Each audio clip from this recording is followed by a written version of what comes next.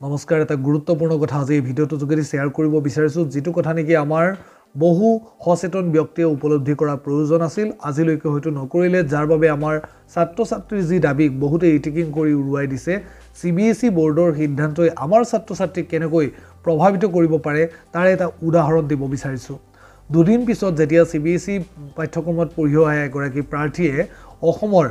উদাহৰণস্বৰূপে চৰকাৰী চাকৰি হিচাপত বিদ্যালয়ত শিক্ষক পদৰ বাবে আবেদন কৰিব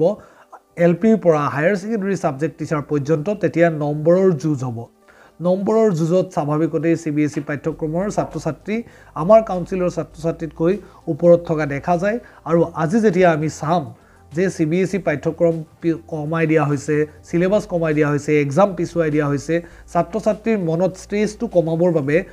পৰীক্ষাটো দুটা টাৰ্মত ভাগ কৰা হৈছে তাৰ পৰিৱৰ্তে আমাৰ কাউন্সিলে উচ্চতৰ মাধ্যমিক চূড়ান্ত বৰ্ষৰ পৰীক্ষাৰ ক্ষেত্ৰত চিলেবাছ নকমালে চিলেবাছ নকমোৱাটো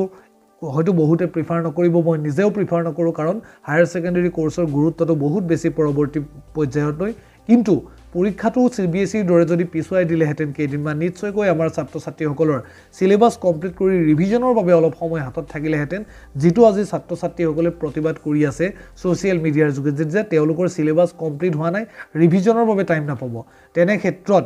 আমাৰ এই কথাখিনি কিন্তু সচেতন ব্যক্তিসকলে যদি উপলব্ধি কৰিলেহেঁতেন নিশ্চয়কৈ আমাৰ চৰকাৰৰ লগত শিক্ষা বিভাগৰ লগত আলোচনা কৰি এটা সিদ্ধান্ত ল'ব পাৰিলেহেঁতেন। কিন্তু হয়তো বহুতে এই কথাখিনি উপলব্ধি নকৰিলে কাৰণ চি বি এছ ই পাঠ্যক্ৰমৰ ছাত্ৰ বা ছাত্ৰী এগৰাকীয়ে যে দুদিন পিছত আমাৰ ছাত্ৰ ছাত্ৰীৰ লগত যে কম্পিটিশ্যনত আহিব মানে আমাৰ কাউন্সিলৰ ছাত্ৰ ছাত্ৰী